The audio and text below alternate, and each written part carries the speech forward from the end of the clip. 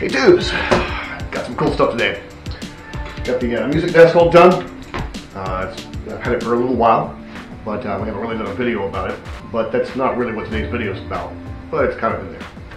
So we'll take a quick tour uh, of you know the setup here, and then uh, we'll show you the upgrade I've got, and we'll sort of explain the problem. Um, so uh, let's go ahead and start that. So here's the desk. It's got a uh, keyboard tray that fits a uh, 61 key keyboard. This is my Arturia Keylab 61 Mark II. We've also got, you know, Mackie speakers are still here. I upgraded with a uh, 32 inch monitor, I think. Uh, so we've still got monitors. We've got the old lava lamp that everyone should have on their music desk for reasons. Uh, did get a keyboard that has got all of the Reaper stuff. So a lot of Reaper shortcuts there. Got a couple of different headphones, one for isolation, and this one is a mixing a set of mixers. This is the DT99 Pro, and we got the uh, Sennheisers for the isolation ones. Now what we're going to talk about today in a bit is this ASIO interface down here, which I've had for quite a while.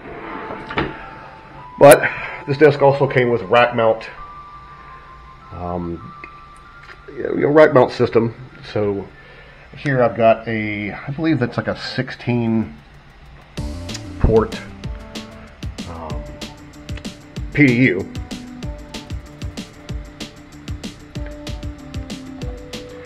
And it's you know it's it's it's quite nice because you can turn off the entire you know everything here with just one one switch. So everything except laptop power, that still always gets plugged into the UPS just so it can always have power. Now today's sort of thing that we're working on is this is where I've put my interface, I've got my keyboard, keyboard, I've got my headset, I got my headphone amplifier from Mackie, and got the USB port, uh, USB hub, and then here is where this thing sits.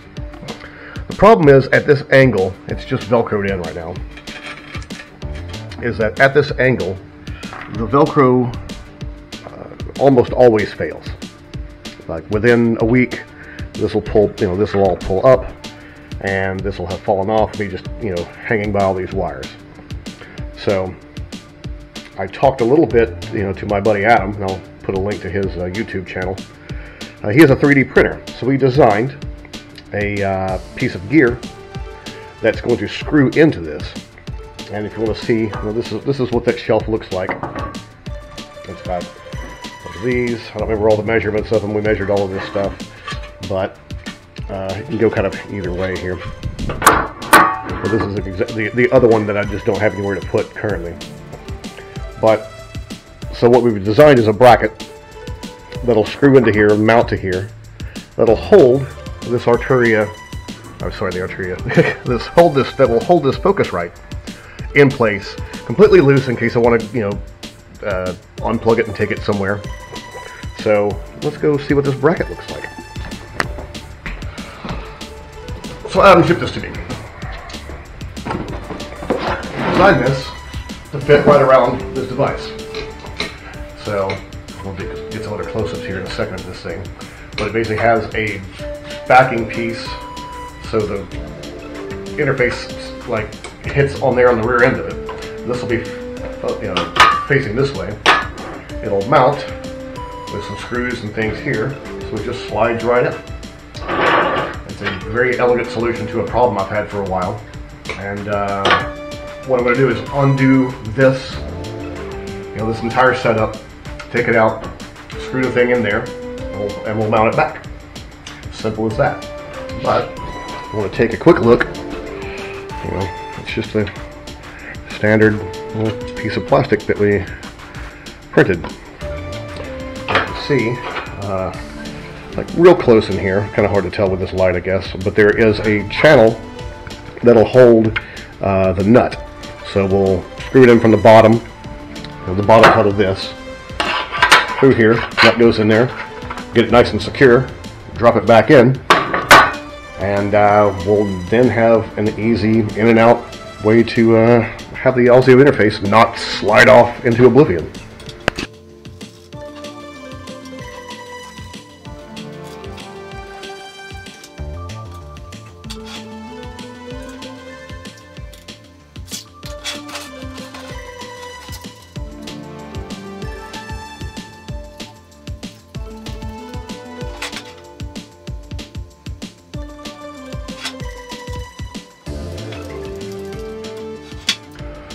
Okay, so this is in. You can see we've got screws in the bottom, here.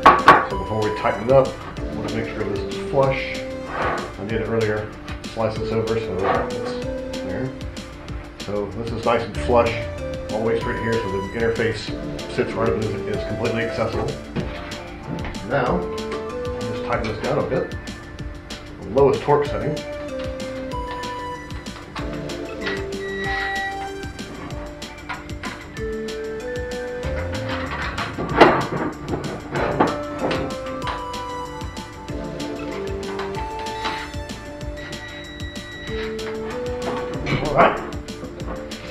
So, as you can see, these, um, the nuts in there, I hope you can see it.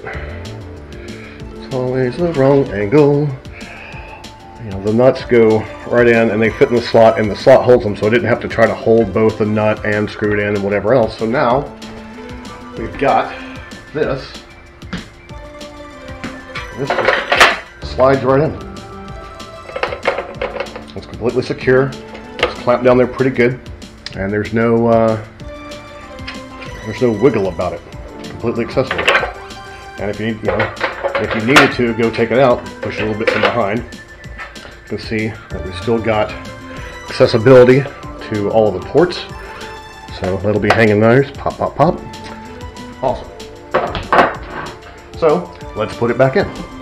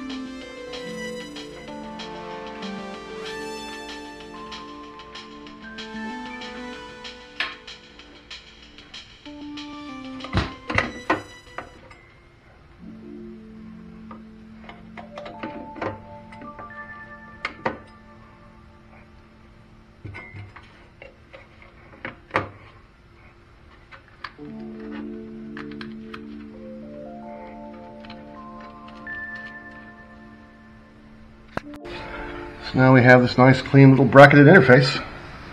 USB there, we got all of our headphone outputs there, speakers are all plugged in. Pretty sweet. So, to close this up a little bit, awesome bracket, I'm really happy with it.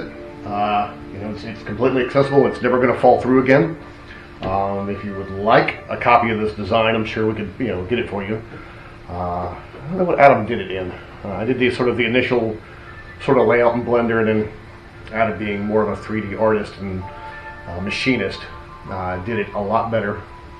Took a lot of measurements, did a few things, tweaked some little bits, but it's perfect for this application. So if you've got a Focusrite, a Focusrite uh, 2i2 and an angled thing, or if you just wanted to mount this somewhere and uh, for other reasons, you could probably also screw this upside down a little bit Eh, but you're going to run into some other issues. Like if you had to put it underneath a desk, we would have to flip something around.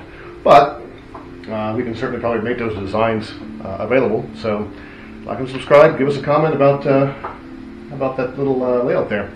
I'm in love with it so far. Thanks, Adam. Thanks, everyone.